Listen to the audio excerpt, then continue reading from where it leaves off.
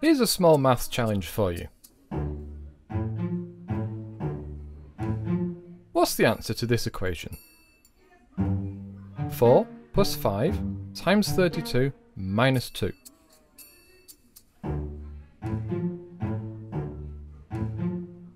Did you come up with the answer 286? Or was your answer 154? What about 162? This ambiguity is not only confusing, but leads to completely different answers. Now we tried to avoid this by having rules. You might have been taught various acronyms at school, learnt about order of precedence, or just thought, stuff this, I'll stick brackets around everything so it's dead obvious I'm a programmer. What if you're trying to make a calculator to do this?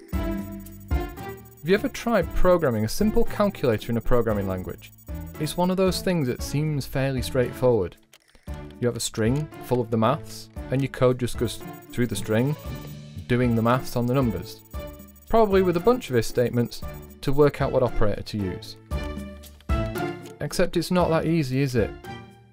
If you think it is, go and give it a go, then come back. We'll wait for you. It's quite a fun challenge, isn't it? You see, there's ways that we need to deal with the brackets, and what if you type things in wrong? Well, calculators have become little computers in their own right. Today, you just shovel your maths in, and the calculator knows what to do. It wasn't always this easy. Let's look at some of the challenges that had to be overcome. Along the way, we might accidentally invent the computer.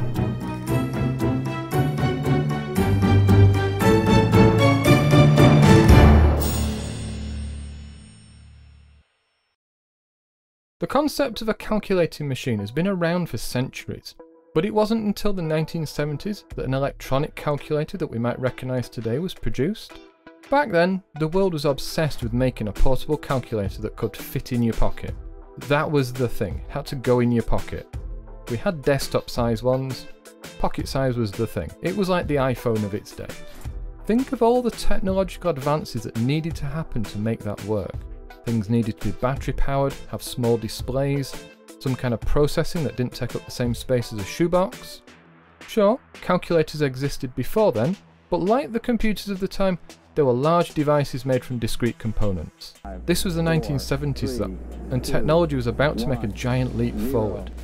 We have commit and we have liftoff at 213. A recent startup in California, known as Intel, had recently been formed for the purpose of making DRAM chips and they were approached by a Japanese company called Busicom, who wanted them to create a calculator that used integrated circuits. This design would turn into the Intel 4004 microprocessor, one of the first of its kind. Unlike any new technology, all the main people involved, either accidentally or deliberately, ended up working with each other or against each other in that strange tangled way that history seems to create.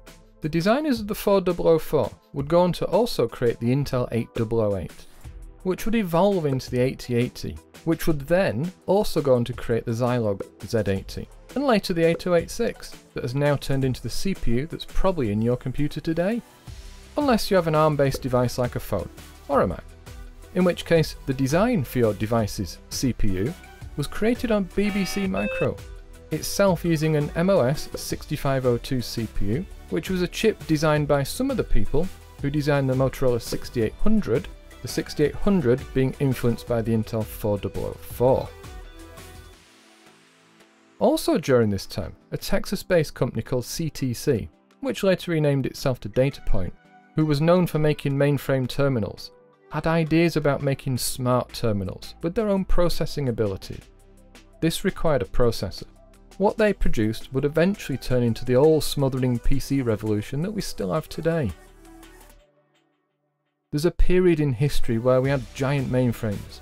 People knew what computers were, but wanted smaller devices to go on their desks that didn't require constant maintenance to operate. Pretty fascinating how the world is now consumed with making computers, and putting them in everything. Go back 50 years, the obsession was calculators. Anyway, enough history. If the history is interesting, there's several books on it and a Wikipedia article that's pretty interesting. I'll link it all below. Let's get back to calculators. How do calculators work then? Yes, I know, you press the buttons and they do the maths. But what's going on inside them? The basic ones aren't computers. There's no CPU, it's not running code. Your average four function calculator mostly consisted of logic gates and some small pieces of memory. That was the whole point of trying to create an integrated circuit. Jam all the technology in a small package. Then have the idea that maybe it could do more than add and multiply. But we'll get to that in a minute. So these early calculators were quite primitive. As you pushed the buttons, the input went into a small amount of memory. When you press an operator like add, that function was performed. So you press 1, then you press add, and the calculator would go into add mode. And then it expects the next thing to be a number. If you give it something else like subtract, it just switches into subtract mode and expects the next thing you press to be a number. Once you type in the second number, it waits until you either press equals or another operator. Then it does the maths and gives you the answer. Trying to do more complex multi-stage arithmetic, like the thing at the beginning, requires some effort from the user. Either you have to break the calculation into stages and feed them in one at a time to your calculator, or you need to understand how your calculator does its maths so you can type it all in in one go. On a modern calculator, this is much, much easier.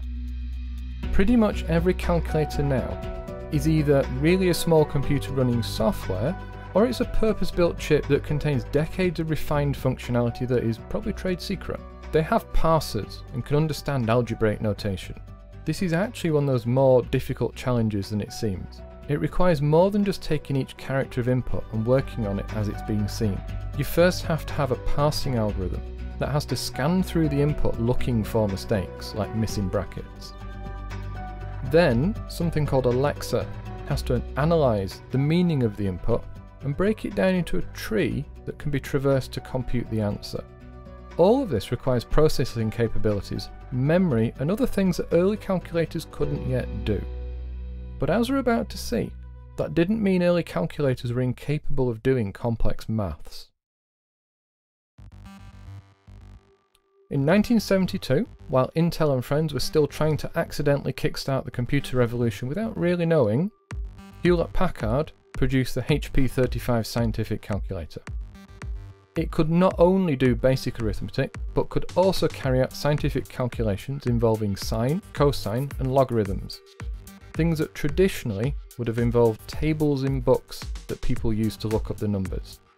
And it did all this with a processor that works serially, one bit at a time. Serial processing like this is a way of dealing with the lack of RAM. In fact, that's why we call memory RAM. The R means random, as a complete distinction against serial. You see, RAM was expensive to produce. Serial memory wasn't. It could be done with things called shift registers. They're devices built from small logic circuits known as flip-flops, which can store the state of a single bit. If you chain a bunch of flip-flops together, they can send their output into the next one every time you give them a clock signal. And if you put them in a loop, they can continually remember some data.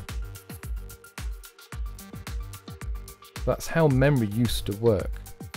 Once RAM that was random had been invented, it was a much more superior way of storing data because you could get to any bit you wanted. You didn't have to wait for it to cycle round.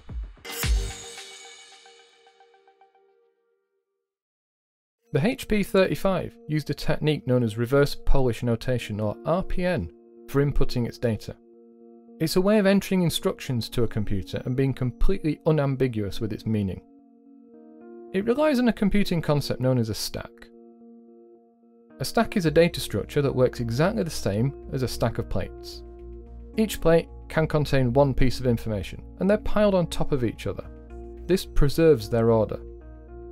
The only way to get to a particular plate is to take off all the ones above it. This is known as popping.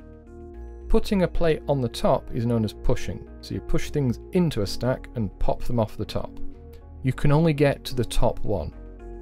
when a plate is popped off, you have to put it somewhere. This is what the memory is for. Now RPN works by using this stack and by the convention of what is known as postfix notation. So here's an example using our 4 plus 5 times 32 minus 2 maths from the beginning. So to express this as RPN, we need to switch it all around into a somewhat confusing mess. So we have 5, 32, multiply, 4, 2, minus, plus. Here's how that's used. So first we push 5 and 32 onto the stack. Then we get the multiply operator. When the multiply operator happens, it pops off the top two items from the stack, multiplies them together, which gives us 160, and then puts it back on the stack. Then 4 and 2 are pushed on the stack. After they, the minus operator will pop off 2 and 4, subtract 2 from 4, which will give us 2, and push that back on the stack. Then the plus operator will pop off the 2 and the 160 from before, add 2 to 160 and give us the answer 162. RPN wasn't just confined to early scientific calculators. The Forth programming language made extensive use of it. Coincidentally, it was also created in 1970 and was used on early microprocessors we mentioned earlier. The simple, unambiguous way of using a stack to store information was perfect for the early machines back then. They simply didn't have enough power or storage to do anything more complex. This was a time in computing where the human operators had to do some of the computer's work beforehand. So back to today, with our multi-gigahertz CPUs, and smart devices that contain more power than a desktop computer from 30 years ago. Is this all just a historical curiosity now? Well, sort of, but not quite. You see, in your device right now is making use of a stack. Every time code in your device executes a jump instruction or calls a subroutine, the return address of where it needs to go back to, along with data to be used in that function, is pushed onto the stack. Inside the function, the first thing it will do is pop off a certain number of items to get that data. Then when the routine is done, the return address is popped off, so it knows where to go back to. That's how your programs don't get lost when they return from functions. We like to think of our devices as being highly sophisticated, but when you strip back the layers of abstraction, the basic workings are still built on the original ideas from these early periods in history. One of the things I'm interested in is how things start. That could be how a CPU boots up when you first give it power and knows what to do.